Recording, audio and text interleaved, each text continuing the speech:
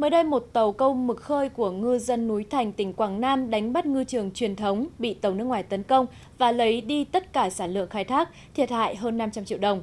Rất may mắn là tất cả thuyền viên vẫn về cảng an toàn.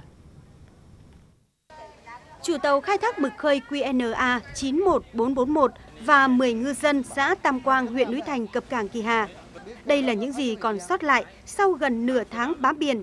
Tàu 67 này khai thác hơn 2 tấn mực khô, nhưng bị tàu nước ngoài tấn công cướp toàn bộ số mực trị giá hơn 250 triệu đồng.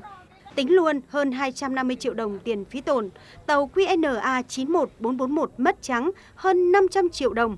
Thuyền viên mất luôn số tiền công lao động vất vả hơn 10 triệu đồng mỗi người. Trong 6 người đó là có hai người nói tiếng Việt được. À, nói là dùng biển này thuộc Trung Quốc, không được đánh bắt. Nay là lần sau mà về gặp lại nó thì sẽ bị cắt lưới và lái đồ trên tàu. Bữa nay chúng tôi dỡ hầm ra kiểm tra. Trong khi đó có được hơn 2 tấn mực khô. À, nó nó nay không khống chế này là lái lên. Khi họ qua thì có những người họ cầm cái cây roi điện đó. Như là họ qua tàu mình là họ lực những cái cây là họ sách họ cầm để họ thủ hết. Họ khống chế anh em nha chúng tôi là phải về hết trước mũi đó ngồi quay mặt về trước. Không được nhìn về sau nói chung thì anh em ờ, lao động chúng tôi thì về nhỏ thì cũng rất khó khăn vì kinh tế nhưng mà cũng phải chấp nhận thôi chứ biết nói sao giờ đây Tàu khai thác mực khơi vỏ thép của anh Trần Văn Nhân được nhà nước cho vay vốn theo Nghị định 67 của Chính phủ. Đóng mới năm 2015, công suất gần 830 mã lực.